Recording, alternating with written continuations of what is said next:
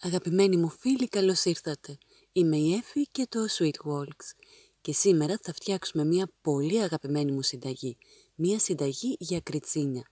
Θα φτιάξουμε τη βασική ζύμη και ύστερα μπορούμε να την εμπλουτίσουμε με οποιαδήποτε γεύση θέλουμε. Με τυρί, με σπόρους, με λιαστή ντομάτα, με ελιές, με καρότο, οτιδήποτε σας αρέσει. Πάμε να δούμε πώς θα την ετοιμάσουμε.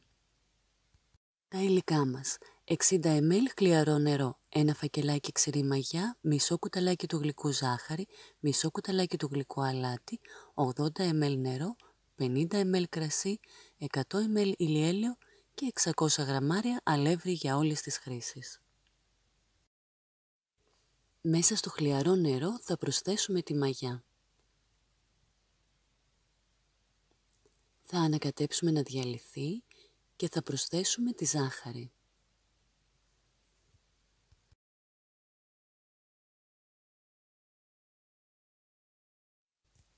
Θα ανακατέψουμε και πάλι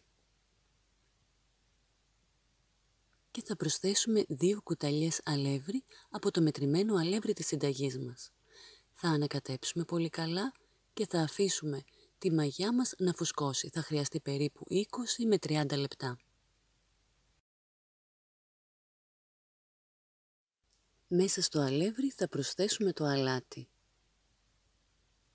Θα ανακατέψουμε και θα κάνουμε μία μικρή λακκούβα στο κέντρο. Η μαγιά μας έχει φουσκώσει υπέροχα, βλέπετε έχει κάνει τις φουσκαλίτσες που πρέπει και θα την προσθέσουμε μέσα στο αλεύρι. Θα προσθέσουμε επίσης το νερό και το κρασί και θα αρχίσουμε να ζυμώνουμε. Αφού έχει βραχεί σχεδόν όλο το αλεύρι, θα προσθέσουμε και το ηλιέλαιο. Και θα συνεχίσουμε το ζύμωμα μέχρι να έχουμε μία εύπλαστη ζύμη.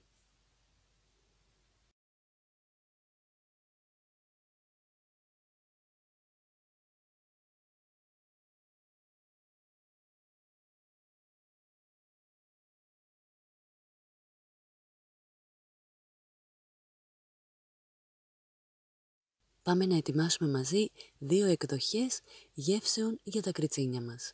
Η μία θα είναι με διάφορους σπόρους και η άλλη θα είναι με τυρί, ένταμ ή γκούντα. Θα χωρίσουμε τη ζύμη μας στη μέση και θα τη βάλουμε σε δύο διαφορετικά μπολ.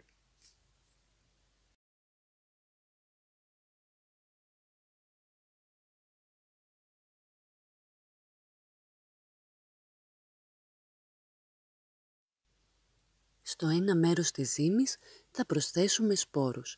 Η ποσότητα εξαρτάται από το τι αρέσει στον καθένα. Εγώ έχω χρησιμοποιήσει περίπου μία κούπα διάφορους σπόρους.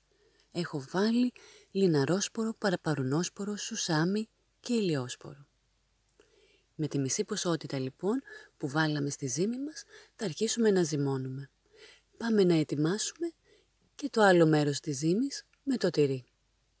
Θα κάνουμε ακριβώς τον ίδιο τρόπο. Θα χρησιμοποιήσουμε όση ποσότητα μας αρέσει να έχουν τα κριτσίνια μας. Εγώ εδώ έχω χρησιμοποιήσει συνολικά 350 γραμμάρια τυρί και έχω μοιράσει το 1 τρίτο μέσα στη ζύμη και τα 2 τρίτα για να καλύψω τα κριτσίνια απ' έξω. Θα πάρουμε μία λαμαρίνα, θα στρώσουμε ένα αντικολλητικό χαρτί και είμαστε έτοιμοι να ξεκινήσουμε. Θα ετοιμάσουμε πρώτα τα κριτσίνια τυριού. Θα παίρνουμε μία ποσότητα από τη ζύμη, θα φτιάχνουμε το κριτσίνι μας σε όποιο μέγεθος θέλουμε. Θα ήθελα να σας πω ότι από το μέγεθος που θα το φτιάξουμε, αυτό θα φουσκώσει κατά ένα τρίτο ακόμη. Θα το βουτήξουμε μέσα στο τυρί, θα το πιέσουμε λίγο να κολλήσει το τυρί πάνω και θα το τοποθετήσουμε στη λαμαρίνα. Είναι πανέτοιμο. Θα κάνουμε ακριβώς την ίδια διαδικασία μέχρι να τελειώσει όλη η ζύμη.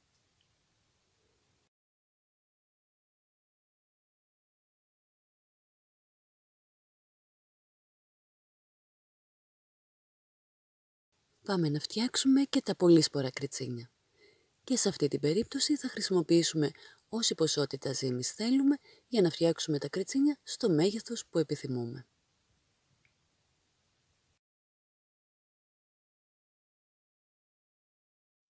Αφού ετοιμάζουμε το κάθε κριτσίνι θα το βουτάμε μέσα στους σπόρους, θα πιέζουμε τους σπόρους να κολλούν πάνω και είναι και αυτό έτοιμο.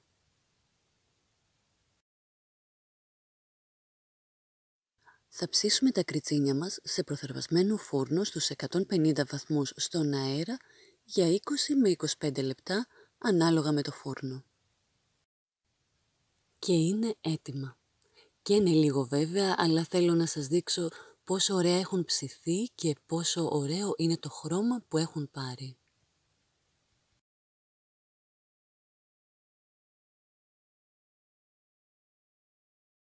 Τόσο εύκολα και απλά μπορούμε να φτιάξουμε οποιαδήποτε γεύση κριτσινιών επιθυμούμε.